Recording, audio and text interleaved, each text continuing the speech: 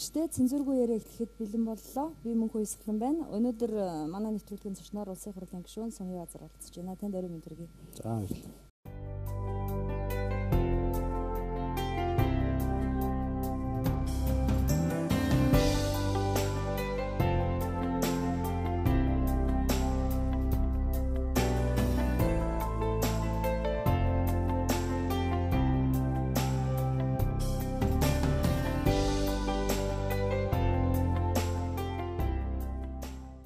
За таныг бол э, Монголын ард түмэн бүгдээрээ таних байхаа долгор сүрэнгийн сумын азар.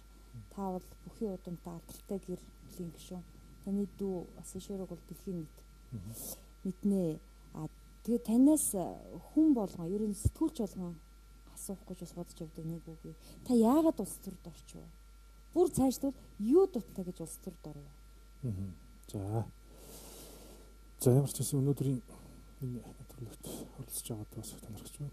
Яагаад гэвэл нэвтрүүлгийн маань одоо нэр хүртэл өөрөө цензург өгч тийм ээ. За мэдээж энэ бол хүн болгоны л одоо асууж сонирх ёстой сэдвийн нэг бол мөнөөс мөн. За мэдээж одоо Монгол улсад за тэгээд тэд дэлхийд мөн одоо бүс нутгийн хэмжээний нэр алдрын төгсөн энэ гэр бүлийн улсууд одоо өөрийн чиглэлээр ч хүн юу дотоод ингээд улс төрд оров юу гэсэн юу араас нь одоо төрхөрдөө гэдэг ч юм уу тийм асуултууд байгаа шүү дээ. Энд бол хариулах хэрэгтэй гэж бодож байна. Тэгэхээр өнөөгийн нийгэмд бас нэг тодорхой одоо бас дуу хоолой болох хэрэгтэй. Тэгээ энэ зөвхөн нийс Улаанбаатар хотоорч бас хязгаарлаж болохгүй л дээ. Монгол улсын хэмжээнд өөр ингэсэн бас дуу хоолойгоо нийгэм төргөх боломжт чадлынхаа хэмжээгээр л энэ улсаар их орон нийгмийн төлөө зүтгэн зүйтэй юм байна гэдэг юм л одоо шийдвэрийг зөвхөн хүмүүнийхээ өөрийн одоо үзэл бодол дээр сурж гаргасан байна. Энд бол янз бүрийн одоо нэг тийм хүмүүсийн одоо дэмжлэг юм уу хүмүүсийн одоо татаас түлхээ гэж ярьдаг тийм ятгалга тийм л ерөөсөө энэ бол хүмүүний өөрийн үзэл бодол хүмүүний өөрийн одоо бодол дээр тулгуурласан юм шийдвэрийг бол бас гаргасан. За тийм хүмүүс бас асууж магадгүй л дээ чухам яагаад ардын намайг сонгоцсон бэ? Тийм. Асуух гал яг бэлтчихлээ. За тэгэхээр Арс намыг ягаад сонгох юм бэ? Ер нь бол цагаан морин жилийн хувьд юу нийгмийн өөрчлөлтүүд 1990 онд болсноос хойш тэр цагаас одоо дөнгөж 16-наас үрж исэн үе байсан. Тэгээд тэр хувьсгал одоо нийгмийн өөрчлөлт одоо болсон тэр бол хугацааг бол би сайн тод санаж байгаа. Ялангуяа тэр 3 сарын 4 билүү 5 билүү сквадрын талбай дээр ялалтын талбай дээр эхлээд цуглаан болоод тэндээс энэ тухайн үед одоо байсандаа арсан Монголын арсан холбооны төвийн зориг тэргүүтээ одоо манай ерөнхийлөгч илбэгд орж за юуны хав хамтлагийн нөгөө энэ зогцоохон тийм тэр батул дарга марга гэл одоо нэстийн хотын дарга бүгдээрээ л одоо байсан. Тэр үед бол мэдээж одоо шил нийгэмд бол чухам одоо нийгмийн өөрчлөлт юуд оргиж байна. Бид бол ямар нэгэнд амьдарч байсан хүн болгоны үзэл бодол өөрчлөгдөв. Ерөөсөө энэ арчил гэдэг бол хэрэгтэй одоо сонин содон зүйл болж байна. Ялангуяа өмнөх одоо үеийн удирдлагууд бас ингээд ийм ийм алдаатай зүйлүүдийг хийж байсан юм. Хэвлэл мэдээллийн бүх хэрэгслүүдээр л гарч ирсэн. А тэгэд 9 дугаар ангийн хүүхэд за логоо өөрийнхөө одоо төрсөн төсөрч үдэг дагуулад тэгээд тэр жагсаалт бүр тэр бүл одоо юмд нь ихнийнд нь тийм одоо бодохдод уртаа шар шар лооцсон байсан. Одоо тэр үед үл яг нь өнөөдөр шиг нь хэвлэл мэдээллийн хэрэгсэл өвчтсөн сайн байсан бас зөв баримттай л байсан байна л да. Гэтэ бас Монголын бас энэ нийгмийн өөрчлөлтөнд нарсан лооцингийн бариад алхаж ирсэн юм уу? Барьж алхаж ирсэн. Яг миний урд буянгийн жаргал сайхны харах 24 дээр элбэг дорж ерөнхийлөгч бол одоо энэ барьдаг нэг тийм цагаан болоо барьсан. Тэр үеийн барьдаг цагаан болоо барьсан. Одоо бас өдөртөө чагсаалын өдөртөө ингээд хөдөлсөн. Тэгээд тэр чинь ялтаас эхлээд урд цагааны урд дур гараад цагааны урдуур чинь тухайд автобус өгдөгсөн шүү дээ. Тэр өргөнчлөгөөр шууд явсаар хагаад готлын хороо өргөж байсан. Тэрний хараар гараад засгийн газрын ордны нар зургуудаа гараад Төвлбаатар гэж зогсож байсан. Тийм л одоо байгаа. Тэгээд тэр тухайн үед мэдээж хүмүүс болон арчлал одоо арчлал гэдэг бол энэ улс орны бас амин амин чухал асуудлын нэг мөнөөс Монгол бүгдээрээ л ярьж ирсэн. Тэр үеийн 9-р ангийн хүүхдүүд зүгээр өөрийнхөө одоо бас нэг сонирхлоор ийм зүйл байх хэрэгтэй байна гэдэг тийм бодлоор л очиж исэн. А гэхдээ тэр хүмүүсийн шаардж байсан шаардлага бол ерөөсөө тухайн үед улс төрийн төвчөө буюу сайн дурын зөвлөлөөс нэлээд өндөр албан тушаалтны гарч ирж одоо энэ дэр мэдээллийг авах хэрэгтэй гэдэг ийм шаардлага нэлээд хүчтэй тавьж байна. Тэр үед яг юу бодож исэн? Одоо тэр үед бол ерөөсөө ингээл ийм нийгэм ингээл өөрчлөгдөж байна гэдэг лимийг зүгээр бодож байсан. Тэгтээ тэр чинь өөрчлөх шийдвэрүүд дараахан гараагүй байсан. Улс төрийн төвчөө одоо бүрэн бүрэлдэхүүнээр хөцрөх шийдвэрээ бол гаргаагүй. Тухайн улс төрийн төвчөөд хорогдож байсан. Тэгээ яг авах гэж одоо тухайн үед үйлдвэрчний эвлэлийн дараагаас нь туссан цэрэнг гарч ирж авах гад би нөгөө шаардлага өгөх усуудын хүчтэй эсэргүүцтэй тулгаад буцаж ороод тэгээ сайдрын зөвлөлийн нэг дор болж даргаж ирсэн. Гямсрангуй тэр үед гарч иж байгаа шаардлагыг хүлээж авч авч ирсэн. Тэгээд оройн ирээд аавда тэр нөхцөлөдлийг одоо ярингуут жагнуулсалтай. Нэгдүгээр чи ер нь ямар одоо мэдээ мэдээлэлтэй ямар бодлоо чи рүүгээд агуулж тэгээд тийм одоо аюултай газар ингэж очиж байгаа нь хөрвөө чи. Тэгээд загнуулаад за за тэгээд одоо уулийн нийс юм байлгүй тэгээд хөөхөд юм чи тийм л бодож. Тэгэл мэдээж бол энэ арчлал гэдгийг бол угаасаа дэмжинэ. Арчлал гэдэг бол одоо бас ер нь утга учиртай байх хэрэгтэй Тэгээ одоо Монгол Ардын намыг сонгосон шалтгаан гэдэг нь ер нь Монгол улсын хөлс одоо ардын хөлсгөөс эхлээд дунд хугацааны бүтээн байгуулалт одоо өнөөгийн бас ингээд явж байгаа олон одоо алдаа оноотой ч гэсэн энэ төрлийн одоо ноён нурууг энэ улс орныг үлдээж явах ийм л одоо хэмжээний хэдэн онд илсэн улсрын намаа гэж би сонгосон. За эхлээд бол дэмжигч нь байж 2008 онд. 2008 он хүртэл 1988 оноос хойш бүхий спортоор улсын баяр наадамд хүүхдээ оруулах бол 20 жил барилцсан байдаг. Тэгээ 20 жилийн барилдах хугацаанд бол мэдээж дотроо бол өөрийн гэсэн одоо үзэл бодол төлөвшөөд тэгээд энэ улс төрчнөр дэмждэг улсуудаа бол дэмжээл явж байсан. Тэрнээс бол тэр нь энэ гэдэг бол одоо үзэжсэн үзэл угаасаа байгаагүй. Арчилсан социалист залуучдын холбоотой байгаагүй. Би залуучдын холбоогоор бол бараг үлдээ. Араагүй юу. Шууд хүүхдээ ойрхон билүү. Үгүй ээ ерөөсөө залуучдын холбоо тухайн үед залуучдын холбоо байгуулагдсан манай өсөг аврагч нэлийн залуучдын холбооны одоо стратеги би тэгээд өсөг аврагч тэгж андуурч байна. Би чинь яг зүгээр орсон гэвэл намын үүрээс нь эхэлж орсон. Намын үүрээс ороод дараа намын үүрийн дарга болоод тэгээл ингээл одоо шат шатаар л өгсөн амжилтууд бол онцлогдоод эхэлсэн. Ямар албан тушаал авч ирнэ намаас? Наад намаас өгсөн албан тушаал гэдэг нь уусаа байхгүй шүү дээ. Хурлын гишүүн. Их хурлын гишүүнд ард түмнээсээ сонгогдсон тийм. Намаас мандат аваад за мэдээж одоо тухайн үед бол нийслэл Улаанбаатар хотод бол ерөөсөө яг 12 онд зүгээр үнийг л ярих хэрэгтэй шүү дээ. Бодит нөхцөл байдал бол бас их тийм сайн гүгээр тийм эсрэг одоо юу гэдэг үзүүлэлтүүд бол бас гарч ирсэн. Тэрнээс бол ер нь би хотын хүүхэд. Тэгээд нутаг орон дээр очиод ингээл гардаг залуу хүний хувьд ялангуяа нийслэл Улаанбаатар хоттой бол би хотын хүүхэд хотод төсч хүмүүжсэн төрсэн хүний хүн гэдгээр нь ер нь Улаанбаатар хотод үзнэ. Өөр одоо тэр ижийн аавын нутаг гэдэг ч юм уу эсвэл одоо өөр хангаа хөдөө орон нутгийн ардын нам дэмждэг гэдэг ч юм уу тэр нь одоо юусоо халахдахгүй юм хотод л үзнэ.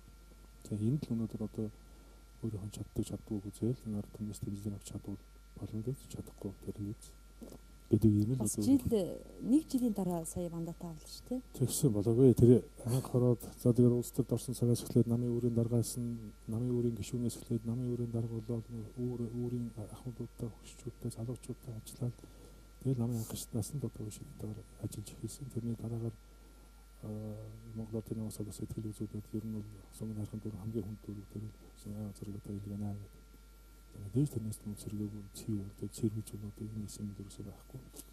Арсан намын өгшөл суурьтай дүүрэг хориг байсан байсан. Гэхдээ бид бол нэгэнтэл энэ чинь хүний хорвол юм чинь Сүрхий дүүрэг шүү дээ. Цанган хайрхан чинь. Ерөнхий сайд алтан ууяг гарчихсан. Гөгшүү зан гарсан. Тийм өмнөх үед нөгөө бөхчүүд бас хэтэрхий одоо тийм популист амлалт өгөөд одоо хоргийн иргэдэг сэтгэлийг унгаачихсан. Эргээд нэг бүх нөхөр гараад ирлээ. Энэ нөхөрч бас энэсээ бас нэг өөрөөс нь дугуй гэдэг ч юм уу энэ нөхөр бас нэг ийм л одоо нэг ханзааны хүндэ гэдэг тийм дүгнэлтийг бол хэрэгдүүл хийжсэн бас л их хэцүү л байсан. Гэхдээ гэж болж байгаа шантраагүй. Эний төлөв бол одоо зүтгэсэн. Тэгээд дараа нь бол өөрийн чиглэлээр бүтэн жил үзчихээж одоо шүү хөгтөж байж тэгээд санал хураалтыг гаргуулж иж болоод их хурлын гишүүн гэдэг нь ард түмнийхээ одоо мандатыг авсан да. Хамгийн их хугацаагаар их хурлын сонгогдчоод заргалдаж маргалдаж явсаар байгаа их хурлын гишүүн болсон хүн хэм байдаг шүү дээ. Одоогийн хурлын дарга инх хурд идэв. Тэрний дараагаар бараг та орох шүү нэг жил. Инх хурдгоо ч бараг жил 8 сар явсан баг шүү. Тийм баг. Өөр хангаан тойргоос маргалдаж гарч ирсэн. Тэр яг тэ өөр хангаан хөшөлтэй хоёр нөхөр хэлсэн шүүхтдэг юм байна. Нэр тийм байна. Сони. Тэгэхдээ би тэр шүүхийн процедур улс төр гэдэг өөрөө ямар хатуу чанга гэдэг, ямар одоо тийм өндөр өксүр даваатай байдгийг, ямар хүнд бэрхшээл саадуудыг тавдаг гэдгийг бүтэн жилийн хугацаанд намайг бол бүтэн жилийн хугацаанд тэр сургалтанд сайн суулгаж өгсөн. Би бол эрхэм баяр өрсөлдөгч одоо ерөнхийлөгч зөвлөлт хийж байгаа эрхэм баяр ахтай бас талархдаг. Гэхдээ мэдээж тэр хүн бол улс төр бас үзэж байгаа, би ч гэсэн үзэж байгаа. Хоёр талаас нь ачтаас үзэн мэдээж өмнө сүхрэн гэж байхгүй аль болох одоо ялахын төлөө үзэж байсан. Гэхдээ энэ болж өнгөрсөн хугацаа гэдэг нь ерөөсөө яг л тийм бүр ингээд нэг одоо тийм 4 жил үзэх хэрэгтэй юм бол магадгүй жилийн дотор одоо ингээд сургалтын судалгаа гаргацсан гэж л мэдээ ойлгодог. Тэгэхээр улс төрийн нэг жилийн дотор бас хэцүү ч гэсэн бас ойлгуулсан да. Монголчууд бүх хүнийг улс улсын хуралд орохоор улс төрд орохоор их эмзэглэж их ярих болтой юм. Жишээ нь одоо гөгшүү зааныг улсын хуралд орж ирэхэд бас нэлээд дургуутсан. Таныг за Бат Эрдэнэ аврагыг бас тухайн үед дургуутчихсан. Таны араас таны дүү Асашура авраг бас арчилсан намд илссэн шүү дээ. Энэ болгонд монголчууд их дургу байдаг. Яагаад тэгд юм бол? Ер нь бол яг зөвхөн монголчуудын амьдарч ирсэн нүүдэлчин соёл ах уу амьдралтай бас холбоотой байх гэж боддог. Ялангуяа үндэсний өвх гэдэг бол Монголын үндэсний уламжлалт хэв маягийг бол олон мянган жилээс хадгалж ирсэн түүхийн бас л дотор бодож явдаг. Өөр одоо жишээл Монгол үндэсний бүх бүх шиг адил бөхтэй ч юм уу те. Өөр 93 наадам гэдэг юм дэлхийд ирэх улс бол Монголоос өөр байхгүй тэр утгаараа Монголын ард энэ бөхөө дээдэлдэг, мороо дээдэлдэг, эрхийн мэрэгэн харваачтай хүндэлдэг ийм л одоо ард түмний уламжлалж одоо ирсэн энэ өв соёлтой салшгүй холбоотой байх шүү дээ. Тэр тэр цаад одоо бүр ингээд мянган мянган жилээр одоо бүр ингээд сэтгүүдэн суугаад ирсэн байгаа тэр зүйл дээр бүхлээр бол одоо жишээл Монгол улсын авраг гэдэг хүн бол авраг цоловцсон бүх хүн бол ямар нэгэн одоо шил Монголын 21 аймаг 330 гаруй сумдаар одоо очиход айлд очиход бол заавал хамраа залдаг. Ийм л одоо тогтсон ч тогтоогүй гэх юм уу тэр уламжилт явж ирсэн тэр маяг ч өөрөө байж байна. Уламжлалтад бас хүндэтгэл байна. Тийм амьдралын хэв маяг тэгээ хүндэтгэл байж байна. За энэ энэтэй л холбоотой байна. Ард түмэн бол харилцааны дээр хайрлаг, хүндэлгийн дээр хүндэлдэг. А тэгээд дээрэс нь улс төр гэдэг бол өөрөө одоо юу манад бас нэг тийм явж ирсэн энэ бохир явж ирсэн одоо энэ юу гэнтэй одоо явж ирж байгаа энэ байдал нь өөрөө одоо тийм улс төр гэдэг бол ирээсээр алдсан юм байна. Улс төр гэдэг бол одоо бие биенээ хүндэлдэг юм байна. Дайрт оромжилт юм байна. Улс төр гэдэг бол ерөөсөө ингээд бүхэл одоо муу мухагийн одоо ох хүндэсүүлсэн ийм зүйл юм а гэдэг ийм сэтгэл зүйн ард түмэнд суудсан байгаад байна. Тэгэхээр энийг одоо яаж өөрчлөх өөрсдөө гэдэг энэ өнөөгийн улс төрчдийн одоо энэ соёлтой шууд холбоотой сэтгэлтэй холбоотой ойлгож байна. Тэрний ургыг их хурлд нэр дэвшиж хахад бас тэгж залуу сэтгүүлчлээ бас игдүүцэл биччихэл байсан юм да. Одоо тоохоо болчих. Ямар шоронд орж байгаа биш. Улсын хуралд орж байгаа юм чинь гэж бодогдоод байна. Үгүй яг зүгээр мэдээж төрийн ажил ялангуяа төрийн төрийн энэ ажилтаа энэ төрийн байгуулалтын ажлууд эрх зүйтэй холбоотой хууль эрх зүйр олон төрийн ажлуудыг ингээд нэгтгэхэд аваад явна гэдэг мэдээж тэр тухайн одоо шил 10 жилийн боловсруулалтаас эхлээд за дээрэс нь одоо мэрэгжлийн боловсрол, дээд боловсрол, ахаа дээш нь өөрийгөө одоо өөрийгөө дээш нь одоо юугаа сургалтанд одоо ахиулж дээрээс нь одоо тийм ухаан одоо бодлоод хэлэх тийм хүчтэй сургалтууд явж байгаа шүү дээ тийм ээ. Энэ болгонд бэлдсэн улсууд гэдэг цаанаасаа бэлтгэж л орж ирдэг. Тэр үн ард түмний харж байгаа зүйл би зөв гэж харж байна. А гэхдээ бүх болгоныг нэг одоо юу гэдэг ингээд нэг тийм ижил үзгээр харж байсан болохгүй.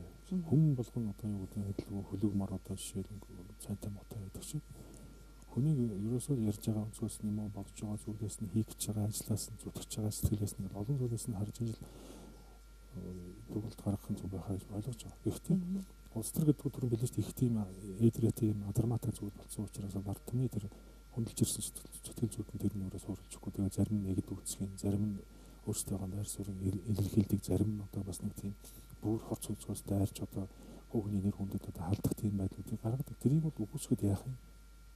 Тэгэхээр энэ л ойлгуулахын тулд энэ өнөөгийн одоо нөхцөл байдлыг өөрчлөх хэмжээнд энэ Монголын улс төрчид ажилласан гэж боддог. Асаширын авраг арчсан намд хэлсэхэд тантай зөвлөснө үү? Nee ёстой зөвлөөгөө те. Ах нь ардын намыг дүүн арчилсан намыг. Тэгээ тэр үеийн нөхцөл байдалд бол зүгээр хөөхний өөрийнх нь шийдвэр гарсан. Манай хүн чинь бол аливаа ажлыг ч юм уу хийхдээ барилдахтааш тэр юмыг шийдэхдээ үл их огцон могцон шийдвэр гаргадаг л да. Тэр нь өөрөө одоо энэ бизнес дээр ч гэсэн улс төртэй ч гэсэн тийм надад эрсдэлтэй болждаг гэж бид бодож байна. Бизнес ч гэсэн аливаа асуудал дээр бол ер нь бол долоо хэмжээний огтлдог. Улс төр тэрнээс илүү байж иж, илүү хүлээцтэй, илүү харж иж нөхцөл байдал донд нийгмийн сэтгэл зүг харж иж шийдвэрээ тэр ярих ярихгүй зүйлээ ярихгүй гэж чинь шууд нөгөө нэг тийм барилдаа шиг тас тас гэдэг яг эрсдэлт гэж гараад. Тэгэхээр нэг ороо очиж одоо өглөө оройн нууц сууж байгаа л өглөө нунтал босоод ирэхэд шийдвэр гаргацсан нам дэлсэн гэж. Одоо хувь хүний өөрийнх нь тэр одоо үзэл бодлыг хувь хүний өөрийнх нь тэр итгэл үнэмшлийг ямар би 2 цагт дийлэхгүй шүү дээ. Дэлхийн хүн болсон хүн. Тэгээд ч одоо тэр Японы 125 130 сая ард иргэдийн сэтгэл зүрхийг олчихсон өөр ингэсэн итгэл үнэмшил бүх юм төлөвшсөн хүн дээр ч одоо. Гэтэ тэнд ингэж бодогдсон нь хүү мэдсэн бол өөрийнхөө намд оролцдог гэж. Оо би бол ерөөсөө давуу дурчиг улс төрөөс жоохон холоогасаа гэж боддог. Улс төр таарах характер гэж байдаг, зам байдал гэж байдаг. Тэгэхээр жоохон холгон шиг байгаад алсаас нь бас ингээд бол их зүв байх. Энэ өргөн олон төмний хүндэтгэл дээр 2-ын 2 удаа хатуу 2 онц төр дорно гэдэг бол тийм зөв үнцэн биш гэж харж байна. Мэдээж нэг хэлсэн үү та өртөн? Өртөн нь хэлсэн. Өөрөөс тэрийг бол ойлгож байгаа. Мэдээж өөрийнхөө итгэл үнэмшлэр ардсан нам гэдэг бол арчлыг одоо үнд зүйл болсон арчлыг цаашдаа дэмжиж улс орныг аваад өгнө гэдэг өөрийнх нь итгэл үнэмшил бодол санаа гэж ойлгож байна. Хоёр ах トゥ хоёр их хурл цуух юм биш үү 16-нд? Гүхэ Гүү хаа. Гүү хаа. Яаж мэдэж тийм байж болохгүй хаа. Ягаад? Нэгдүгээр үндсэн болохгүй шүү дээ. Зүгээр энэ ард түмнээ бас хөндлөх хэрэгтэй байна Нам шийдвэр гаргаад дасаа өөрөө хүсвэл дэвшиж болно шүү. Би бол одоо бүр манайр бүр эсрэг татгалзах шийдвэр гаргах байх гэж бодож байна. А хэрвээ хасаа авраг дэвших юм бол та татгалзах уу? Одоо энэ бол их хэцүүлтэй. Тэгээд одоо яг яах ёстой би одоо наад дээр чинь бас нэлээд бодох хугацаа гарах байх. Ер нь ярилцсан хэрэгтэй байх та. Ярилцчил таарах. Ярилцсан хэрэгтэй. Ярилцж байж, ойлголцож байж, ер нь цаашдаа тэгээд яг үнээр энэ би ихээсээ илүүтэйгээр бид ихээсээ илүүтэйгээр энэ нийгэмд юу гэдэг нь тийм хийх нийгмийг одоо ингээд ачааг нь өөрлөцөд аваач тийм хэмжээний Тэгээ Америк нэгдэд бол нөхрийн ерөнхийлөгч эхнэрийн санаа сенатын гишүүн байдаг юм. Тэр чинь одоо шалгарсан арчлал тэмдэл байх шиг байна. Гэхдээ энэ Монголын арчлалын төлөвч хэмжээг үл явж штеп. Би үлээж хараад байна штеп. Алдаа оноотой зүйлүүд яваад байгаа штеп. Хит мэтэл дургуй хил бийдэг, хит баруун талруу хил бийдэг. Өнөөдрийн улс төрийн намуудын үзэл баримтлаар ингээд зүгээр хараад үзэхэд бол жишээ нь манай нам ч гэсэн алдаатай зүйл байдаг ягаад гэвэл татварын бодлогыг хөнгөлнө гэж зүйлүүдийг бас арай өгч шүү дээ. Нөгөө талдаа болохоор одоо шил халамжийн бодлогыг хадгаруулаад ингээл явж байна. Энэ үзэл баримтлал гэдэг юм дээр тогтсон зүйлүүд дээр нь улс төрийн намууд одоо сонгогдох таар өрсөлдөх цаг нь болж байгаа гэж бодож шүү дээ. Тэ. Арчилсан нам арчилсан гэсэн мөртлөө барууны үзэлгүй ерөн зүүнний үзлийг илүү барьдаг шүү дээ. Танд тэгээ санагдав. Ерөөсөө тийм шүү дээ. Дандаа халамжийн бодлого. Дандаа халамжийн бодлого. Тэгэл хавтгаар уулна. Тэгэл моол юм бол нэг хойд мө хойд тал юм уу хараах гэдэг шиг ардын нам амлчаад ингэсэн шиг байна. Гэтэ сайн муу зүйлүүд байлгүй. Гэтэ манайхан ч гэсэн бас алдаатай зүйлүүд байгаа шүү. Энийг шүү илдод шүүмжлээд засах хэрэгтэй юм засаа залруулад яг л явах хэрэгтэй замаараа явах зүйл байна. Танаа нам шинжлэгдэж чадсан уу? Залуучууд нэг шинжилтийн төлөө нэлээд үтсэн шүү дээ. Тийм намыг шинжилнэ гэдэг шахал зүгээр нэг хүний үзэл бодлоо биш байх л та. Нэг хүний тоолоогоор нь өхөлөтөн одоо 93 жилийн төвхтэй улс орны бас удирдаад зам уу гэсэн бас аваад хоёр дайнд оруулаад заашлаад ард түмнийхээ амьдралыг бас нөгөө энэ хоёр том бүрний дундах улс төрийн бодлого зүгээр явж байсан улс төрийн хүчин Монгол Ардын нам бол мөнөөс мөн. Гэхдээ шинжилгээ гэдэг зүйл маань одоо шилэг юунаас эхлэх хэвээр мэдээж одоо шинэ нам анх хэдний байгууллагаас эхэлж шинжилгээ нь одоо бидний идэвхтэй ажиллаж байгаа. Тэр шинжилгээг ойлгох ойлгох хэмжээнд бүгдээрээ хүсэж байгаа боловч яг хийх хэрэг сэргүүцтэй байнга толгорч идэг юм л зүйл. Аа манай намын дэмжиж байгаа Монгол Ардын намыг дэмж одоо дотроо нь ажиллаж байгаа дэмжиж байгаа залуучууд бол чинийг эрэлхийлэхийн төлөө одоо бүгд л ажиллаж байгаа л да. Энэ цаг үед бол үнэхээр бас үнд цаг үед. Ялангуяа өмнө нь бол ялагд ялагдж үзээгүй Монгол Ардын нам бол Монгол Ардын хосголт нам гэж болж байгаа. За уугуул нэр аваад Монгол Ардын нам болсон нам бол олон жил одоо ялж тийм ээ. Дандаа нь одоо төрсөн төрийг удирдах, улс орныг удирдах, эдийн засгийг удирдах явсан тийм л одоо нам байсан. Гэтэ энэ хүн цаг үед биднэрт бол харин том боломж гэж хараад байгаа шүү дээ. Энэ бол боломж гарч ирлээ. Энэ боломжийг бид нар бол энэ намыг мэдээж бас шинжлэх өөрчлөх тал руу, эрүүжүүлэх тал руу, үзэл бодлоо яг өөрчлөлтөх энэ орчин үеийн сонгодог утгаарны явуулах тал руу явуулах ийм боломж олцсон одоогийн Монгол Ардын намыг бэрдэж байгаа залуучуудын одоо энэ цаг үед л одоо гарч ирлээ. Ардын намын аль фракцид харьяалав? Ардын нам фракц байхгүй шүү дээ. Бүү яалаа гэж. Фракц нам шүү дээ. Чи одоо фракшн фракц гэдэг фракшн гэдэг чи одоо хуваагдал ч юм уу та тийм ээ зүгээр одоо шууд махчлаад орчвол бол хуваагдал гэл. Гэтэ би зүгээр арчсан намыг бол олон фракцуудын нэгдэл төр одоо үйл ажиллагаа явуулж байгаа улс төрийн хүчин гэж харж байгаа бол чи Монгол ардын нам бол тэр нийлдэг. Монгол ардын нам бол цулаараа намаа. Хүү яалаа гэж тань. Намрын их хоёрыг дагдаг нэг хэсэг байдаг. Хөрөг төрчин мөрөндөө ийл ийл зарлаа шил одоо шил Монголын орсон холоо фракц гэвэл ийл зарлаа ирсэн байна. За мүүднэ гэдэг ч юм уу. Арслан дээр үзэл шонхор гэл тус тустай эдэр чин зарлцсан. Энийг бол одоо жинхэнэ сонгодог утгаар нь фракц гэж болох байх. Монгол ардын намайг ямар байдлаар нь одоо фракц гэж хэлэх юм бэ? Хөрс дарга нар одоо жишээл ингээд дарга нараа хөрөлцөхийг дагдаг хөрөлцөх дарга дагдаг нэг хэсэг өөрөөсөө хэлэх чинь тийм. За мэдээж одоо хотын одоо инк дарга дагдаг. За маяр даргыг гэдэг. Мэдээж эн чинь өөрсдийнхөө хийж байгаа ажил дээр тэр улсуудтайгаа ажиллаж байгаа ойр дотн болоо тэр хүнээ дэмждэг утгаар нь манайхан зүгээр тэр хуваагдлыг хараад байгаа юм шүү. Тэр чинь хуваагдал биш. Занаар цул том нам шүү.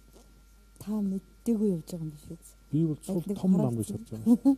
Өнгөрсөн жил Монгол Ардын намын 20 дугаар их хурлын өмнө Японы либерал арчс намын нөхдөлтөнд 7 хоногийн сургалтанд очсон.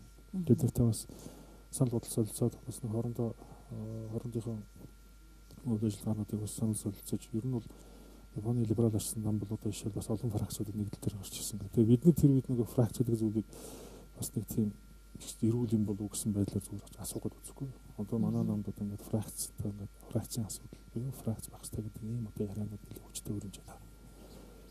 Ээ та нар бол надад асуудал бол ерөөсөө дэж болохгүй шүү. Танаа нам бол сулаараа явсан бол сулаараа байж л одоо альва асуудал шийдэх хэрэгтэй шүү. Наад чинь бол тийм яриадах сэдв биш. Тэр 1955 онд байгуулагдсан том туршлагатай намаас тэгээ тэр нөхдүүд чинь дэлхийн хоёр намрын эдийн засгийг өдөрдөж ирсэн тийм л одоо том улсууд шүү дээ. Тэдний зөвлөгөө тийм л юм байсан.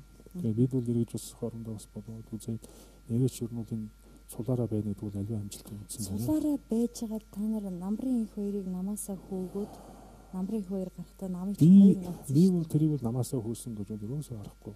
Зүгээр хуугны үзэл бодол өөрийнх нь одоо амбиц байсан болов уу гэж хараад байна.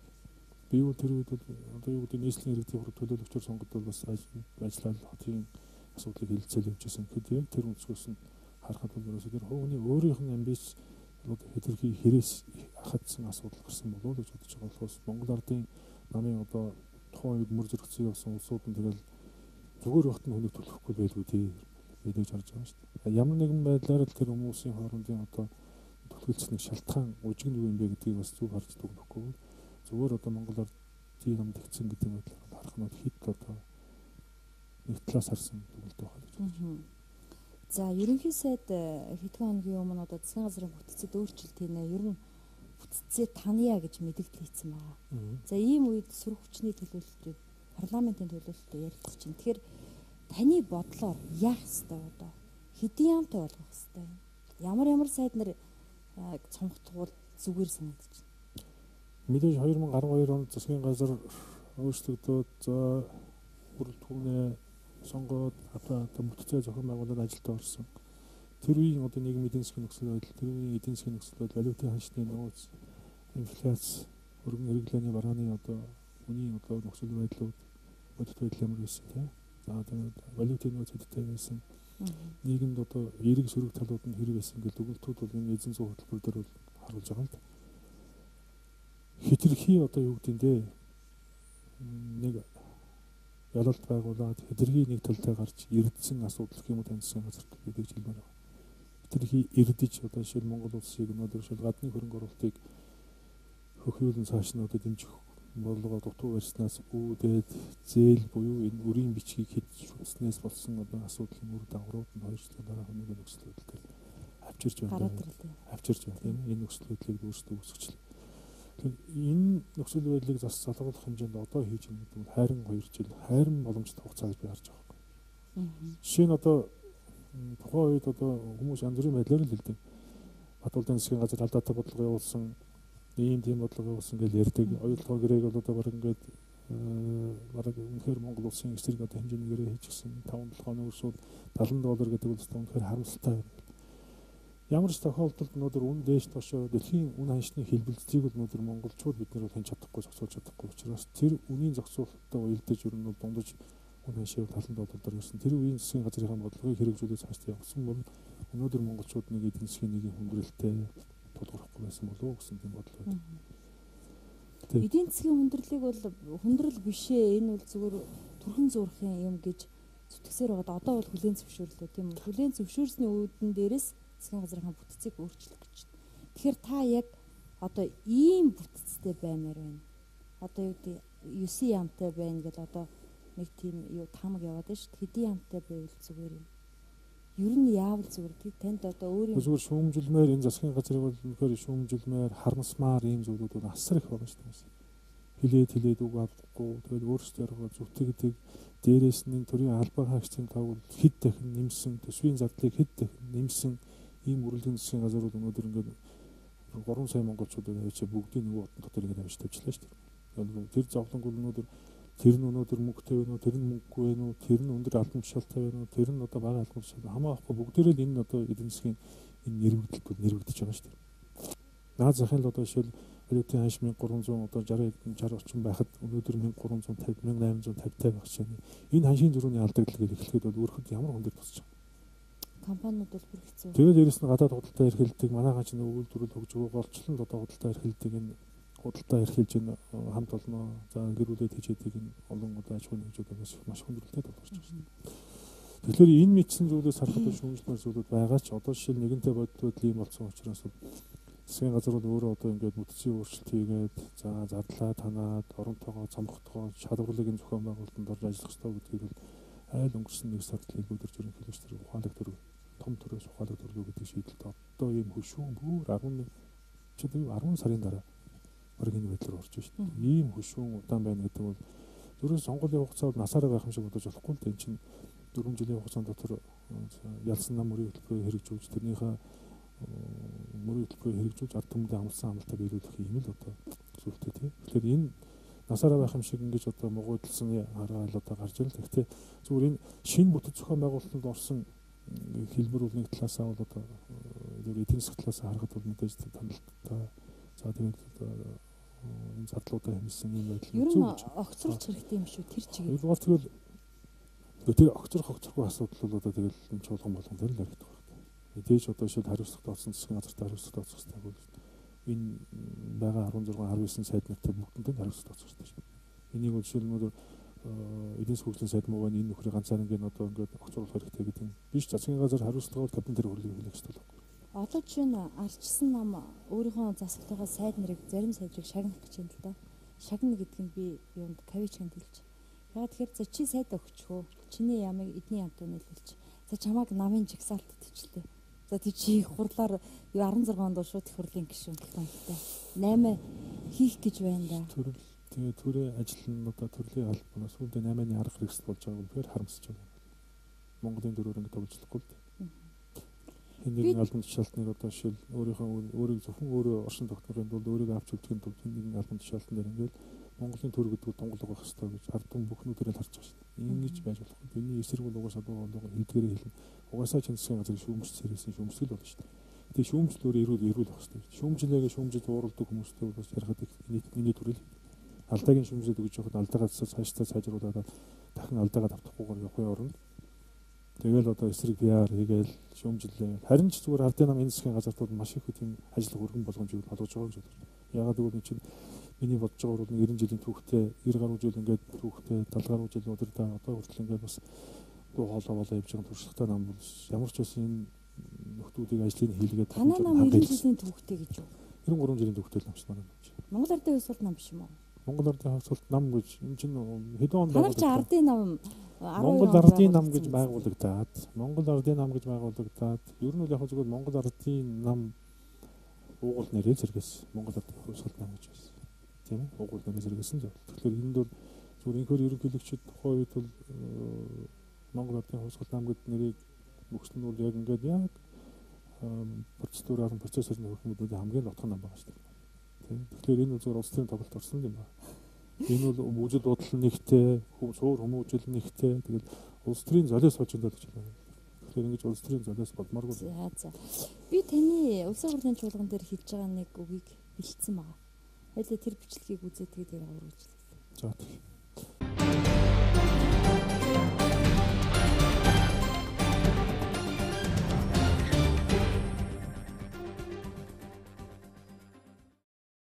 108 данстай холбоотой асуудлыг бас гаргаад ирсэн. 222 одоо төрийн албан хаагч өнөө одоо тэр унах ёсгүй албан хаагч нар ийг бас гаргаад ирж байна. Ингээ бид нар гаргаад авах шүү дээ. Энэ Монгол төр Монгол Монгол улсын засгийн газар бол энэ цэвэр тунгалаг үйл ажиллагаа явуулах хэрэгтэй гэж бодож байна.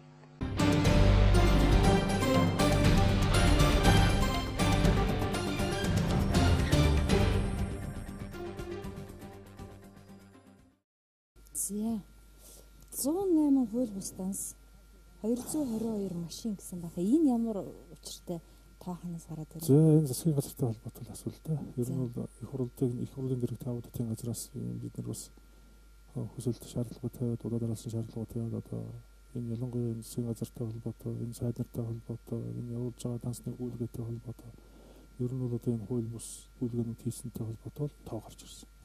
Тэрийг бол одоо манай ерөнхий аудит тэр зангад бод бол бүлгээс бүлгийн даргын зүгээс бас дараалсан одоо хариуцлагатай тийм шаардлага. 108 хууль бус данс нь яам яамн дээр барьж чинь гэсэн үг. Тэг ер нь бол яамдууд дээр л байгаа шүү дээ. Төрийн төрийн дансууд дээр л. А тэр 222 машин гэдэг нь бас хууль бусаар авсан. 200. За тэр машинтай холбоотой асуудлаар нөгөө гандамар сайд чинь тухайн үед цөөнх байхдаа сөрөг хүчин байхдаа одоо энэ жишээл энэ төрийн төсвийн мөнгөөр одоо ингээд хансаглаад авслаа. Ер нь бүх төрийн албаа хаагч чи бомжаад. Одоо өөрсдөө болсон байна. Харамсалтай. Бүр өөрсдөө тэрийг бүр даабалдаад ороод ирсэн байгаа байхгүй. Одоо бүр э, улсын үйлдвэрийн газар буюу дүүргийн орон нутгийн үйлдвэр орон нутгийн өмчт үйлдвэрийн газар. За дээрээс нь нийслэлийн өмчт орон нутгийн одоо нийслэлийн өмчт үйлдвэрийн газар. За тэгээд улсын үйлдвэрийн газруудын дараан дараан заа. Наа чи бүр ингээ бүр доош байгаа нэг зүрг орсон. Бүгдээрээ жиптэй. Тэгээд дээрээс нь гар утасныхаа мөнгийг төлүүлдэг. Дээрээс нь амралт одоо хичнээн туслахтай шиг Яг ийм бодиттой тоонуудыг л одоо шил ерөнхий аудит төр гаргаж ирсэн. Энийг цааш нь ингээд судлаад үзэхлээр үнэхээр харамсмаар байгаа байхгүй юу. Тэр үед нөхөр эрүүл дугуйж ирсэн нөхцөл байдал одоо яахлаар ингээд бүр байрын солигдоод ингээд бүр тэр үеийн нөхцлүүдээс ингээд даабалдаад ороод ирж байгаа юм байна. Энэ үл та ган төмөр сайдад асуулга тавьж. Одоо шаардлагатай бол ярьж байгаа тэгээ тавина да. Би ч одоо ган төмөр сайд нэг боловсролын э, энэ яамнаас одоо явуулж байгаа энэ бодлогын хувьд ялангуяа тэр нэг хүүхдийн сургалттай холбоотой сургуулийн одоо э, анги танхимын хүрэлцээ муутай холбоотой за тэгэл нөгөө баахан үндэсний үйлдвэрлэлээр нөгөө ховч хийлгэж байгаа зургчдын ховцыг хийлгээд нөгөө иргэдтэй торгоод иргэдтэйгээ торгоор одоо уулзаа явж явахдаа их гомдол гарсан шин. Тэрний дагуу очиод одоо асуудал тавьсан. Тэгээ тэрийг бол ойлголоо гэж орсон шин. Шудраг өрсөлдөөн хэрэглэгчийн төлөө газрын дарга магна гэж хүн байдаг. За энэ хүн асаа циркийн хувьчлалыг буцаавтлаар шаардлага тавьсан. Шалгасан. За энэний дараа магнит дарга энэ цензургүй яриа нэвтрүүлэгт бас нэг сони юм ирсэн. За тэгээд асаа циркийг буцаагаад авлаа юу гэсэн чинь. Ав гэж би уян гэрээ сайдд хэлсэн чинь. Сумын базараас асуу. Сумын базартай нэг юм яриад тэгээд таг болцсон. Тэгээд тэр хоёрыг дотн холбоотой юм шиг үлээ гэсэн. Та хоёр юу ярьсан юм? Оюун гэрэл сайд за яг их хурл сонгогдсон албаныхаа мандатыг авсан 76 гишүүний нэг. Нэг одоо тангимд сууж байгаа. Монгол улсын төрийн бодлогыг тодорхойлж байгаа. За мөн одоо энэ улс оронтой холбоотой олон ажлуудыг л хамтдаа хэлцээ явж байгаа. Нэг л зүйл байгаа. Энд бол ерөөсөө ямар нэгэн хууль зөрсөн зүйл байхгүй. Энэ хөвмч хөвчлөл, энэ менежментийн хөвчлөл гэл ерөөсөө хүний таригдлахыг угаахтай их гарамга. Ялангуяа төөрөгдүүлнэ, өөрийнхөө өнцгөөс тайлбарлана Тэрэнд бол мэрэгжлэн шүү дээ. Гэхдээ өнөөдөр Монгол улсад хууль нь хуулиас тэр өөр юу вэ? Хөх тэнгэр байгаа. Хуулийн өмнө хүн болон хүн болгонд хариуцлага үлээд аж ахуй нэгж болгон хариуцлага үлээд Монгол улсын албан тушаалтан болгон хариуцлага үлээд. Тэгвэл өнөөдөр тэр хуулийг уншаад үзэх хэрэгтэй. Хуулийг говьлж болохгүй. Хуулийг худлаа ярьж болохгүй. Монгол улсын тэр дөрвөн ороотой хийхэд дөрвөн чөвчтэй холбоотойгоор ялангуяа энэ нийгмийн салбарын хөгжлөлүүдээс хамгийн анхны хөгжил одоо бараг л одоо менежментийн хөгжил, цэргийн хөгжил би болсон гэж ойлгож байна. Өмч хөгжлөл биш ээ. Өмч хөгжлөл барилгын хөгжлөл буюу өмч хөгжлөл менежментийн хөгжлөл зэрэг явсан. А зэрэг явсан. Зэрэг явсан хөгжлөлүүд анхны хөгжил байхгүй. Тэгээ энэнийхээ ялгаа заагийг олж ийж одоо асуудлаа Яг би бол магнит даргын гаргаж ирсэн тэр асуудлыг бол буруу гэж боддог. Яад гэвэл хувь хүн мөнгө оруулсан, хувьчлаад авсан, мөнгөө төлсөн тэр хүний хувийн өмчийг төр дээрэмдэж авч болохгүй гэдэг тад миний итгэл үнэмшил байдаг. А миний асуусан асуулт бол оюун гэрэлсэд юу тантай ярьчаа тэгээ таг болсон юм болоо гэдэг. Оюун гэрэлсэд надтай юу ярих вэ? Ер нь бол яг магна дараагийн энэ хуулийг гуйлж байгаа явдал дээр л надад надтай ярилцах. Яагаад тантай ярьдээ? Гэхдээ угаасаа мэдээж эн чинь нас давдуржийн өмчөө. Давдуржийн өмчтэй холбоотой байгаа 100%. Тийм ээ. А дээрэс нь болохоор мэдээж эн чинь төрс одоо төрсөн ах トゥ хоёр бол хоорондоо уулздаг байлгүй. Гэхдээ бол ер нь одоо энэ өмч өмчтэй холбоотой энэ хуулийг гуйлах гэж байгаа өмч өмчлийг одоо ингэж өөрийнхөө улс төр буюу PR-да ашиглаж байгаа тийм байдал нь харагдаж байгаа шүү дээ. Гэхдээ улс төр хийх газар очиж улс төрөө бас олигтойгоо хийх хэрэгтэй шүү дээ. Тэгэхгүй тэгээ ингээд нийгэмд ингээд нэг тийм зөвхөн одоо магна гэдэг хүнд одоо асуудал одоо босгож ирдэг магна гэдэг хүн шодрог үннийг тогтоодог магна гэдэг хүн өнөөдөр үннийг эрэл хилдэг гэвэл энэ үнд нийцэхгүй шүү дээ. Өчнөө олон одоо өөрийнх нь гадаа дотоод одоо явсан дундтай хэтрүүлсэн олон удаагийн гадаадад чамарсан гэл бүхэл зүйлүүд байгаа шүү дээ. Байгаа шүү. Үлэгээл харж байгаа. Өөр юу ярих юм сонсъё л даа. Тийм. А бид нар яаж ч улс төрсөн ер нь бол хувийн өмчийг дээр өмдөж болохгүй. Наа чинь бол өнөөдөр ардчлалын хамгийн үнд зарчим бол өнөөдөр тэгвэл Монгол улс тэгвэл яах гэж өнөөдөр тэр хувьчлалыг нийтэд зарлаа. Нэгнийхээ хувийн өмчийг дээрэмдээд байх юм бол бид нар октябрийн хувьсал хийж байгаатай огт ялгаагүй байхгүй юу? Яг нь лүмбэн пролетар нар л байхгүй юу? Тэн дээр бол би санах нэг байгаа. Гэтэ харин оюнгэрсээ тэнтэй юу ярьж юм болоо л гэж сонирхол байсан. Яг тэр хууль зөрчиж байгаа хуулийнхын дагуу одоо магнагийн тавьж байгаа шаардлагыг хэлэх гэсэн баг. Тэрнээс одоо оюун гэрэл сайд бүтээрийн хооронд бол янз бүрийн хувийн харьцаа байхгүй. А мэдээж бол хоёр өөр одоо үжил бодолтой намын гишүүд. За нэг нь одоо сөрөг 30 болцсон засгийн газрыг шүүмжилж байгаа их хурлын гишүүд. Нөгөөх нь эрх барьж байгаа засгийн газрын бодлогыг одоо магнит даргын ярианаас та хоёр нэг ингээ хуйлдаа үүсгээд яваад байгаа юм шиг ойлголт төрүүлсэн л дээ. Магадгүй ер нь бол хэлээд шүү дээ юмыг их гоё гуйвдаг уран сэцнэр яриад. Тэгээд ард түмэн төрөхтэй бол тэр дуу хоолойгоо өөрийнхөө одоо бодож байгаа өнцгийг бол Монгол улсын хууль ч юм уу дүрм журм гэж юм л. Тэгээд оюнгэр сайт циркийн асуудал бол өргөн олон түмэнд нээлттэй байгаа. Төрийн эмч орон дээр бүх материалууд нь байгаа. Өөрөө тэрийг очиж үзэж бодвол танилцаа гэж тэр материалуудаа хараа гэж. Ямар Монгол улсын ямар хуулийг зөрчсөн Монгол улсын ард түмний одоо тэр нийгмийн салбарт хөгжсөн өмчийг эзэнгүүдүүлээд зүгээр үнгүй авцсан юм уу бүх юм тэр төрийн эмч орооны хөгжлийн материалууд байж байгаа. Тэр бол хууль ёсны хойш гэж байна. Хоёлаа одоо шагаа та. Стрик төр орхиод тантай уулзсан юм чинь асуух асууж заавал асуух хэрэгтэй нэг асуулт байна. За энэ жилийн улсын наадам. Хоёр авраг барилдсан. Өсгөө авраг, сүхөт авраг олон жил баригдахгүй байж байгаад эргэж иж баригдлаа та бол сүхэт аваргын тэнцлийг дэмждэг хүн гэж би ойлгодог. Зөв ойлгож байна уу?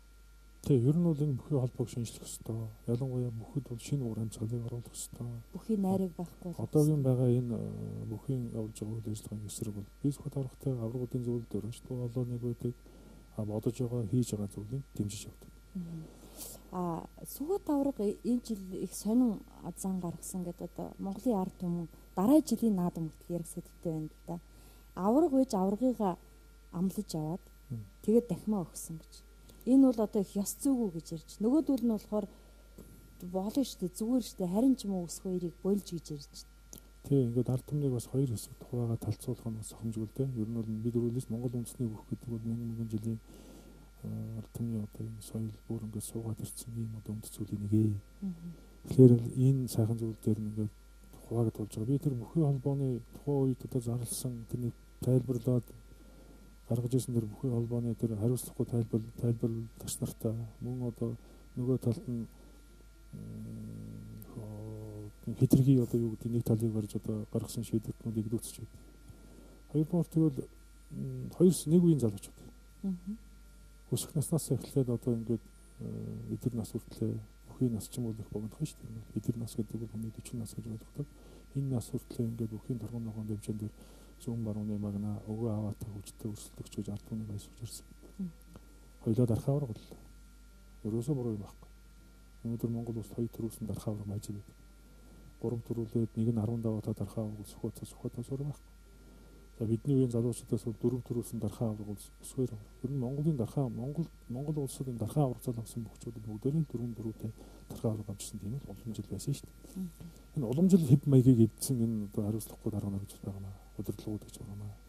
Энэ удирдлагууд өөрсдөө төр хариуцлага хүлээх ёстой. Ялангуяа бүхийн одоо янз бүрийн менежментүүд хийгээл одоо бүхийн үзэгчдийг татах гэж суглаа явуулдаг л гэн үзэгчдийг татах гэж азийн суглаа татаад тэр нь болохоор одоо тэр тэр нь бүх үзэгчд тэгж одоо тийм хэмжээд хөтлөө дороотсон. Тэр хүн нэмдэрж гэдэг хүн хэвээр байгаа юу?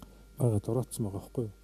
Тэр хүн ч одоо намайг жоохон байхын л Одоо шил би нэг дарга 6 байсан сан. залуу зам гэдээ барилжсэн тий. Тэгэхэд ямар ч менежмент хэрэггүй байсан. Ямар ч сурталчилгаа хэрэггүй байсан. Бүхий холбоо Батэрдэн авар гарч ирэл 6 залуу зам зэрэл дээрээс нь энэ ид одоо барилжсэн сайн ачингууд аймаг арсангууд ороод ирэхэд бүхий өргөв тэр чирэд үлддэг байсан. А тэгвэл эргээд энэ бүхийхэн хөгжлөөр анхаарлаа хандуулаа. Тэр бүхий хөгжлөө сайжруулах арга механизмаа өөрчлөөч, арга барилаа өөрчлөөч. Энэ менежментийг тэнд хийж энд хийх гээд байгаа тэр хүмүүс суглаа суулгаад байгаа менежментийг тэнд байж байгаа бүхчүүдийн бие бэлдэлд нь тэр бүхчүүдийн бэлтгэл сургуульд нь, ёс зүйд нь, тэр барилдааны ур чадварт нь тэрийг хандуулаач. Энийг экспорттойгоо нийлүүлээч гэж байна. их ярьдаг л да бүр бүхий холбооны ням дөржтэй мэтгэлцээнд оруулахын сан гэж хүртэл сэтгүүрс нар биччихсэн. А би зүгээр Сүхбат аваргын гаргасан тэр Одоо би харин тайлбарлах гээд тийш очих байна л Аа дээ. за за за. Тэгээд ер нь яг нэг үн залуучууд гээд ингээд байсан. За тэгээд энэ жилийн ялангуяа хоёлоо дарахаа авраг болоход бол ягаад гэхээр нөгөө тэр тэмчгэн дээр нь би өөрөө Батэрд наврах жороогүй биш орог бол төгс гэрчэн энэ дөрөв бас юм байл ашиг сонирхлын зөрчил мөрчлөл болцоод бас байл гэдэг. Хоёлоо сайхан хоёр залуу найз маань нэгэн үеийн залуучууд маань сайхан дарахаа авраг гэдэг нь эрхэм мөндөтэй цалыг авсан. Гэхдээ яг тэр ерөнхийлөгч цол гардуулахтай хил зэмдэн өгсөн бай гэдэг чинь хамгийн энгийн ерөөсөө логикэн дээр сухад аврагд 10 даваатай 3 үзүүр 3 төрүүлсэн 10 даваатай 2004 онд тий Мгм. дунд нь 2001 оны 10 даваа ингээд 3 10 даваатай 3 төрүүлсэн сухад аврагд төрүүлээд Монгол улсын дархаа цалын ерөнхийлөгчүүд хүнд ч ойлгомжтой байдлаар өгсөн. Зарлиг уншихтаа төрүүлсэн бүгд ихэж өгдөг тийм үү дараа нь үзүүлсэн бүгшүүдэд унж өгдөг тийм үү за дараа нь өсгөөр аврагсан 2009 онд дөрөв дэх төрөг аваад он цагийн хувьд бодсон ч гэсэн ойсон ч ойлгоснаас а энэ бүхий холбоо бол тэр наадмыг өмүүлэх юм уу эсвэл одоо сухат аврагын эсрэг тийм хар би хар цэцэг маягтай тийм хийсэнд үнээр харуулж байгаа. Би сухат аврагыг Уг нь өсгөр аврагтанд төрүүлж өстэй байсан юм уу? үгүй төгссөн. өгдөг нь зөв үү те? Энэ бол ерөөсөө маш зөв асуудал. Сухат бол 13 төрөв 3 төрөвсөн. Гэхдээ 10 даваатаа төрөвсөн. 2004 онд 3 төрөг авсан шүү дээ. Дунд нь нэг 10 даваатаа. 2000 онд 9 даваа төрүүлсэн, 2001 онд 10 даваа төрүүлсэн, 2004 онд 9 даваад 3 даваа төрүүлээл тэр дархаа аврагын мөнгөлөө хангаал ерөнхийлөгчийн зарлагыг тэр болсон. Дараа нь өсгөр авраг 2009 онд 4 төрөг авсан. 9 даваатаагаар 4 төрөг байдаг. Тийм ээ. За ингээд ерөөс энгийнээр хахад юм байгаа. Аа тухайн одоо үед ингээд сухат аврагыг гарч ирээд ингээд наадамч олно баясах сухат авраг барилгах нь эхлээд дотор баярлжсэн. Үзээ суужсэн. Сайхан нэгэн даваад таваад ингээд ард түнэ баясгаад орж явахад үнэхээр баярлжсэн. Бас болжтэй болж 8 жил бас ингээд торгон ногоон дэвжээр барилдахгүй завсарчаад одоо 2014 онд ингээд гарч ийн гэдэг бас сайхан байна да гэдэг. Тэр өнцгөөс хараад их дэмжиж байсан. Тэгээд 3 давааны тэр ам хотууд авах юм дээр л жоохон бодлон гарсан. Тэрийг бүхий холбоо өсгөө даврыг өсгөө даврыг төрүүлж юм аваад нэгэн даваан дээр гарахтай шүү дээ. Нэгэн даваан дээр гарахтай бодлон болсон тийм. Анх одоо баруун зүүнний магнахын Баруун зүүнний маань Угаасаа бол өсгөө таврыг зүүндээ гаргаад өсгөө баруун таврах хэрэгтэй байсан. Би хэрвээ өсгөө өсгөө оронд байсан бол яах ёстой байсан бэ гэдэг өнцгөөс бодож үзсэн. Би өсгөө таврахтаа сайхан тэмрэг тэмрэлдэж аваад сайхан зураг авахулаад нэгэн үеийн бүхчүүд одоо ямар хэн дөрүүлнэ юм чинь энэ сайхан бүхчүүд наадамч олно хөндлөөд энэ бүхчүүдээ бас нэг хөндлөө бүхчүүдийнхаа сэтгэл зүг дэмжиж зүүнний магнадаас сухат аврагтыг 3 3 төрүүгээр 10 давтаа 3 төрөөс сухат аврагтаа зүүнний магнаа хөгөөд өөрөө баруун нэг аваа гарцсан бол жоохон гоо жоохон шиг байсан бол энэ наадамч өөрчлөх байсан ийм одоо наадмын дараагийн явган одоо яриа бол гарахгүй байсан гэж бодлоо. За тэгээд ам авчлаа гэдэг. Ер нь бол яг зүгээр баталгаажуулсан хэлбэр хийчихэж байгаа байхгүй өөрийнх нь дархаа авраг цолыг баталгаажуулаад өсгөр авраг дараа миний дараа аавна гэдэг юм уу ам аваад амлж аваад тэрийг протоколд ингэж бичүүлээд үлдээчих байгаа. Хэмэл юм болсон. Тэгээ энэ дээр бол зүгээр би сухат аврагын хийсэн үйлдэлүүд дээр бол буруу хөхийн арга байхгүй. Зүгээр бүхий холбоо бол одоо тийм хажим мессеж өгж тэрийг л одоо дараа нь ерөнхийлөгчийн хамгийн газраас уцтаад дарамтлаад исэн гэдэг мэдээ мэдээ гаргасан мэт. бүхий холбоо юу? Тий одоо нөгөө Сүхбатыг тэр э, зүүнний магнаа булаацдаж авсан. Тэгээ бүхий холбоо штэ одоо юу ч хэрж мэдэн штэ ер нь бол. Итгэхгүй. Эднээс бол сухат авраг одоо шилэн бүхний солмолыг ингээд бүр завхруулаа заавруулж хийсэн өнөөгийн нөхцөл байдлыг үүсгэсэн. Одоо бүхчүүдийн бие бэлдэр юу? Бие талаас нь харалт барилдааны талаас нь харалт. Ерөөсөө ойлгомжтой ухарж ухарж байгаа ч юм уу зогс зогсож байгаа ч нэг цай очоод гараа үзүүлчихсэн барьцаа сонгоол. Тэгэл нэг хоёр нөхөр бие бинийгээ барьц сонгоод хайдаг болсон. Нөгөө нэг уран барилдаан хурцтай шалмгаа уран сайхан барилдаан хаасан байхгүй болсон энэ явуулж байгаа үйл ажиллагаа бүхий холбоо өөрөө бодтой дүгнэлт хийгээд энэ нэг арга барил чинь болохгүй байна, хөшүүн байна, хойрог байна, хоцрогдож Тэр болохгүй бол тэр ням дөрж гэдэг үнийг сольж болдгоо юм. Нэг л өөрийн гэсэн тогтсон дүрм журамтай учраас бас их төвхтэй л да шууд ороод ням дөрж байгааг боловч нэг байж болохгүй тэр цэцгийн зүйл нь хуралдаж эднээсээ шийдвэр гаргаж дараа нь ихээ хуралдуулж нэгдсэн хуралдаа нэрээ бүхий холбооныхаа тэргүүн тэр бүд зохион байгуулалт явна л да. Тийм дүрм журамтай байгаа. Тэрэнд нь одоо хашигдчихсан нэг л хоёр талд шүүхтэлцээ л яваад. Үнэхээр энэ бүхий холбооны Монгол мөхтэй холбоотой энэ шүүхтэлж байгаа асуудлуудад дуусахгүй байгаад бас ингээд бас нэг тийм таалбартай байдаг. Яагаад эн чинь ойлголцож болохгүй вэ? Юуг нь харамлаад байгаа. Энэ ард түмний мянган мянган жилийн өв соёлыг ингээд өмчлөх гээд байгаа юм. Үгүй шүү дээ. Би ишэл одоо Монгол улсын авраг бүхий холбооны өмч юм. Үгүй шүү дээ. Би тэг таны ярианаас сүхэт авраг яг хэвдээ шаардлагад өсгөө аврагыг амлаад авчиж өсгөө аврагч тэрэнд нь хөвжүүлгээд байхгүй байх байсан юм аа л гэж ойлголоо мөн үү? Үгүй би амлсан амлсан амлалтан дээр нь яриаг. А тэр Сүхбат аврал өсгөөг амлахдаа бүхий холбооны хийж байгаа энэ одоо алхам хойж хойшод гарах магадaltaг энэ жил наадмаар ингээд хаа ачсан. Хаах тэр үн чинь тэгдэм юм. Тэгээ протоколд тэгээд Монгол улсын дархаа авраг Сүхбат Монгол улсын дархаа авраг өсвөрийг амлаж авлаа гэдэг чинь дүүс мэс бичигдээд протоколд бичигдүүлж штэ. Тэгээд Сүхбат бол одоо яаж яасан өсгөөг өмнө гардгаар гараад юу. Тийм имийг өөрөө баталгаажуулж хийж байгаа хүнийхээ зүгээс гэж би тэгж байна. Тэрнээс бол шаардлагасандаа биш баха. Энэ бүхэн холбооны энэ нөхдүүдүүд итгэхгүй дээр тийм алхам хийсэн байх гэж бодож шин. Би нөгөө гард магнит кино Тэр юунаас үүдэлтэй юм бэ гэхэлэр юм аа. Яг тэр нэгийн даваанд гарсан юм дээрээс би харин өсгөө амаргаа оронд байсан бэл гэж байгаа шүү дээ. Сөхөө тавар баяр хүргээд саахан төмний өмнө гарч байгаад нэг 2 6 ахуулаад тэгээд телевиз цэнгэр дэлгэстэй ард түмдээ хандаж баяр над юмдээ хүргээд Тэгээ сүхот аварга зүүнний магнад өөрөө гар заа заа сүхот зүүнний магнаа би баруун магнаа авлаа гэж гарахад бол тэгэл болох шээ. Уг нь сүхот аваргыг барилтад нь хэдгүй юм баярлсан да хүмүүс. Тэгэлгүй яг хөө чи 8 жил одоо торгон ногоон дэвжийг орчиход эргэж одоо тэр дархан аварга солон хүндэж үзэж байна. А өсгөл битээр бол харвагасаа л одоо нэг дэвжэнээр өссөн найзууд. Гэтэ хүний тодорхой бодож байгаа үзэл бодол чинь одоо өөр өөр шүү дээ. Миний харах өнцгөөнийг өөр өсвөрийн харах өнцгөө. Бард магны кинон дээр нэг молиг очир чинь амбантны цагаан жигмэд гэдэг нэг айхтар мохоо бүхийг амлж аваад хайчихдаг шүү дээ. Ягаачгүй шүү дээ. Тэгээ бүхийн санаалга гэж ийм гэдэг. Тэр киног үзсэн болов Гуха. Тэр бол би бол тэр ата хорсол ч юм уу эсвэл одоо тийм их түүцэл дургуутслын илэрхийлэл биш гэж харж байгаа.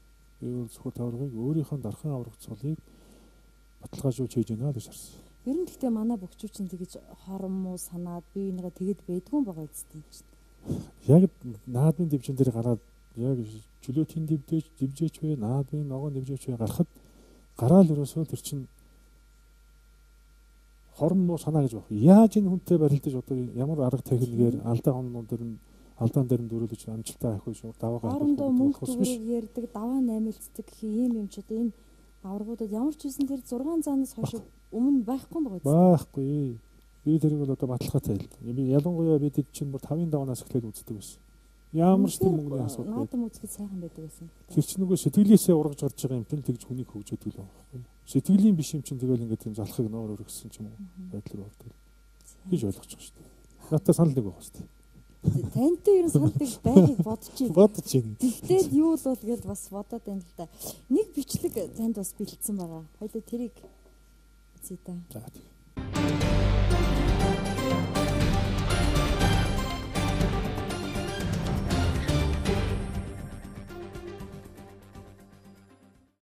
heeft gemaakt die ongelooflijk is in zo'n bedrijf. Maar tegenover hem, dat is geen kleine jongen. Энэ нөгөө Японд болсон нохоо зодон тийм мэрэгжлийн нохоо зодон гэдэг чинь өөр. Энэ ч одоо ерөөс яг л мэрэгжлийн одоо мэрэгжлийн тулаанчлал гэдэг юм да. Ялангуяа зэрэглэл өндөртөө спортоор олон жил хичээлсэн мэдрэмжтэй танилцсан гэдэг болохоос зүгээр. Hij heeft nog een broer. Die heeft een bijnaam Blue Wolf. Die zit ook in het pro wrestling circuit. Het zijn alle drie mannen die afkomstig zijn uit een enorme worstelfamilie. Энд жин хамаагүй байд юм. Гэж гарав. Үндэсний бишиг юм. Дөрөв бил байна. Би одоо энэ найзыг нэг авчирдаг юм байна. Энэ найзыг авчирч. Sepp is uh, 17 centimeter langer en weegt zo'n 35 kilogram meer dan Sumia Bazar. Maar Sap heeft getraind. Heeft zich redelijk weten te bekwamen met Muay Thai en kickboksen. En heeft ook al inmiddels een uitgebreide opleiding Энэ хэдэн килограмм жинтэй юм бэ? энэ чи одоо in 2 Amerika метр gevormd als worstelaar. 2 метр 175 кг. Тийм. Kijk, pakt hem meteen goed beet. Kan daar die guillotine choke maken als hij dan zou willen doorgaan. En vergis niet, want deze Bob Sepp is een oer, een oersterke man. Naar de grond toe.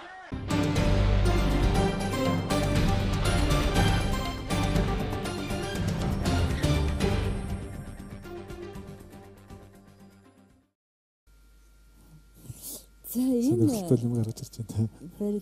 энэ одоо нохоо зодоо гэж ойлгосон их монголчууд. Тэгээ комиг харамссан да. Мэргэжлийн тулаандаа ер нь бол яг зөвхөн прайд гэдэг юм да. Чөлөөтөл маягаар одоо тэр зодооны тулааны одоо тэр нөгөө дүрм нь бол шил 5 минутаар 3 удаа 15 минут.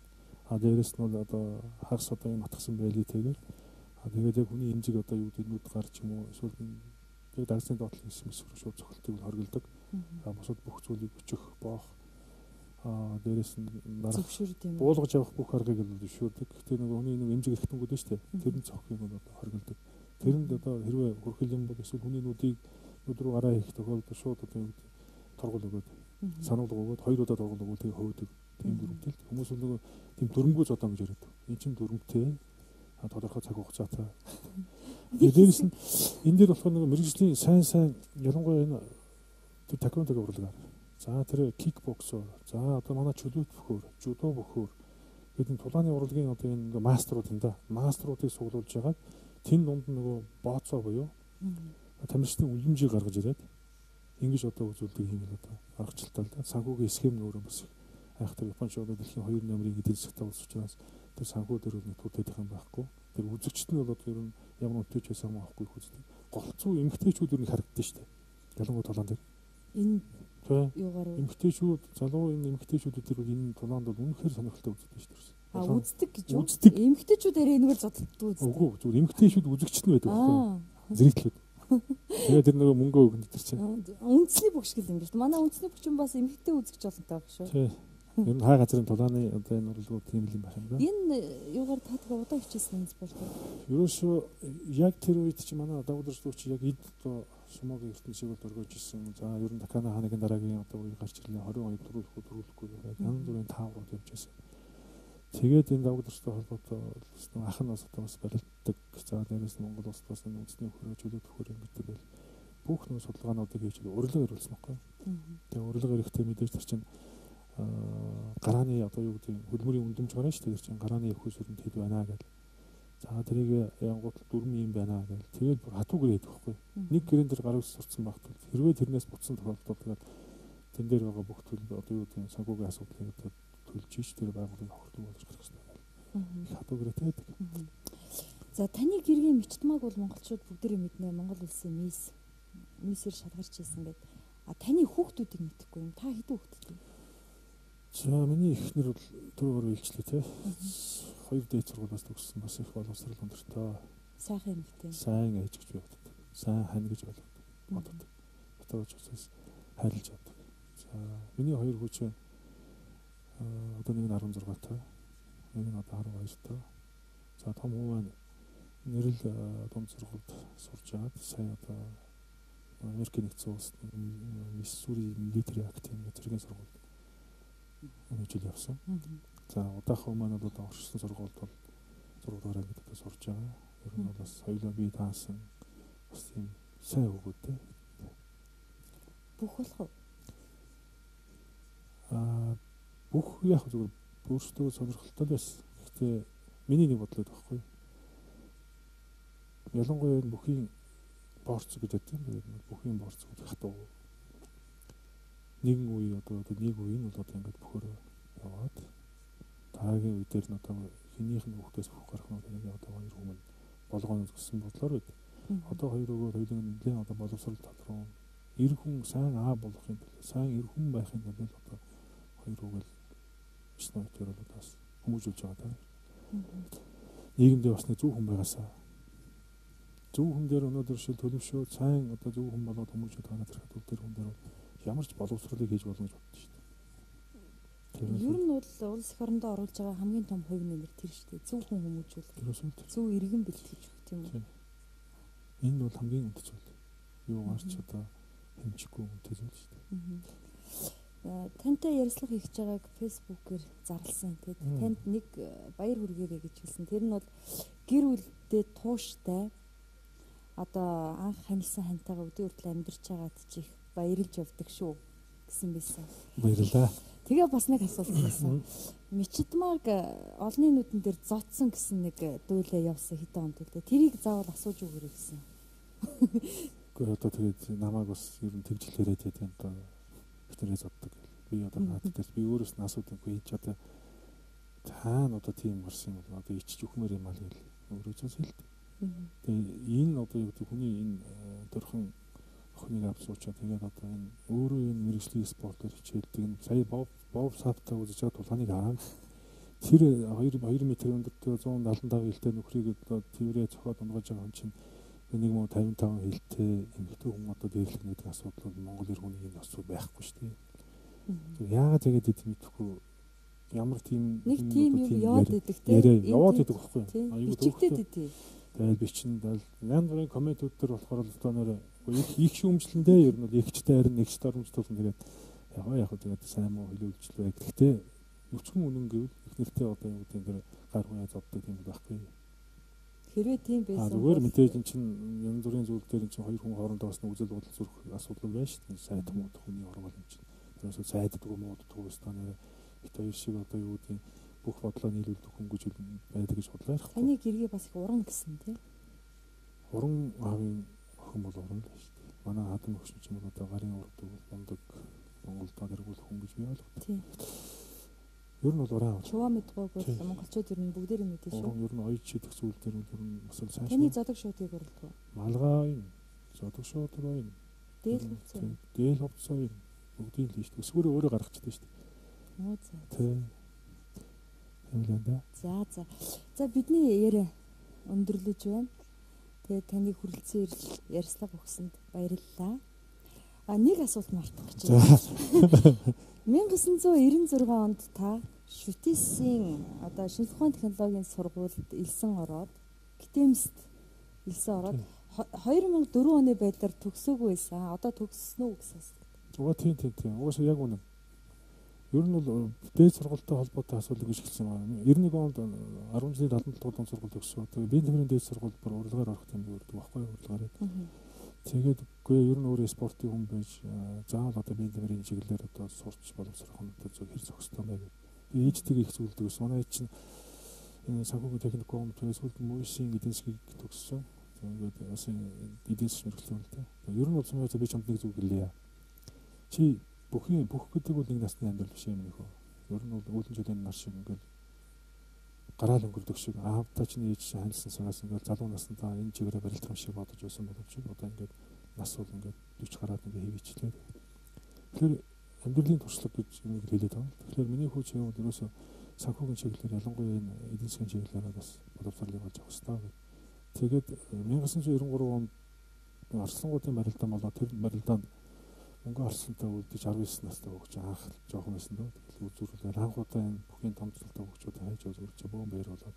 Тэгээ тэр үед энэ нэтлэн бодлох бүр төлийн дээд сургууль гэж анх байгуул, мандах дээд сургууль гэж анх байгуулагдаад тэрний та сандах сүрэн одоо гэрүүлийн хүн маань нанжид багш байгаа.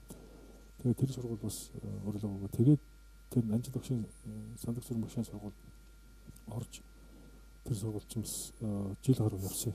Тэгээд 96 оны олимпиад тулчаад байдаг. 95 онд цуглуулалт бэлтгэлүүд нараас гараад ирсэн. Сургууль хөөх олимпиад чинь миний нөгөө спортоор хичээллээд бас 8 жил болсны үр шимээ үүсгээл анх удаа олимпиад орж тэр лугаа тэмүүлжсэн учраас яа харахгүй чөлөө аваад. Тэгээ сургуулаа чөлөө аваад явсан. 95 оноос хойш сургуулийн бараг ахиж хараагүй. Тэгээд 1996 онд олимпиад орж ирчээд манай ээжийн ах их улсын хурлын улсын одоо баг хурлын гишүүн байсан. Анхны үндсэн үйл баталж байсан бүрүүдэг ах маань шинжлэх ухаан технологийн сургуулийн харьяа одоо компьютер техник менежмент сургуулийн доктор профессор тийм байна. Одоо байгаа. Бас ажиллаж байгаа. Тэгээд түрүүдэг ахын ерөөсөө яг зүйлснээр ерөөсөө чим гитэмс дуратгаа манай одоо хуучин одоо политикийн дээд сургуулийн инженери эдийн засгийн факультетэд бол олон бөхчүүд төгссөн байдаг. Одоо жишээ буян дэлгэрийн болдог, цэнх хоёроод олон сайн бөхчүүд төгсөж мэрэгч давхар хос мэрэгчлээ болж гарч ирсэн. Чи юугаас хос мэрэгчлээ болж энэ сургууль сурнаа гэж 96 онд яг наад онд чинь таарч байна. 96 онд цууд 2004 оны бодлоор төгсөөгөө чаад 2005 оны 1 сар төгссөн. За ямар ч байсан төгссөн юм байна. За за. Тэгээд тэр нөгөө юуныхаа ажлыг дипломынхаа ажлыг хамгаалахдаа бас их том сэдвэр авсан шүү дээ. Эрүүл мэндийн бүр салбарын хэмжээнд энэ Монгол улсын хүн амын одоо юутай холбоотойгоор өвчлөлийн одоо түүхтэй холбоотойгоор буюу энэ нөгөө илэгний өвчлөлтийн шийдвэр диплом ажил хийжсэн шүү дээ. Тэгэд намайг яг зүгээр салбарын хэмжээний асуудал авч ирж байгаа шиг л нар дэгжлээсэн. Ирээдүйд эрүүл мэндийн сайд болоход төхөх. Эр хүний дотор имэлтэй хазаартай мөргөж сайд болох л вээлгүй дээ. Бодтгол вээлгүй дээ. Гэхдээ одоо тэгээд э, ямар ч байсан тэгээд өөрийнхөө үзэл бодолтой үнэж нэг тийм албан тушаал шүтэд амьдраад байхгүй ер нь бол нийгэмдээ бас нэг өөрийнхөө чадах хэмжээгээр нэг дуу хоолой чадах хэмжээгээр өөрийнхөө хүч болцоогүй л ирээд очив. Энэ бол надад бол нэг тийм сайн дарга болгоо тэмүүлээд байх одоо тийм сонирхол бол илтэд бол угаасаа байхгүй. Мэдээж одоо тэр үед бол одоо одоо нэг тодорхой жилүүдийн дараа бас нэг улс төртөө энэ төрлийн ажил янз бүрийн юмд туршлагаа туршлагажаад хамт олон шийдвэрийг шийдэн шүү дээ. Ер нь хамт олон шийдвэрүүд Монгол Ардын намын багварлаар ер нь бүх асуудал шийдэгдэн шүү дээ. Тийм. За 2016 онд ах トゥ хоёр авраг их хуралд суух үедээ тэрийг эр хүний ууж ухаанаар ах хүний талбун сэтгэлээр бас болгож яваарэ гэж таньс хүсье. За баярлалаа. Танай хамт олонд бас амжилт хүсье. Ер нь тэгээд дараа дараагийн нэвтрүүлгүүд сайхан нийгэмд бас хүргэсэн. Ер нь үлийн цензургүй яриа гэдэг бол их зүг зүг те. Өөрийнх нь бодож байгаа зүйлийг чөлөөтэй илэрхийлдэг. Их зүг сайхан одоо нэвтрүүлэг хийж байгаа.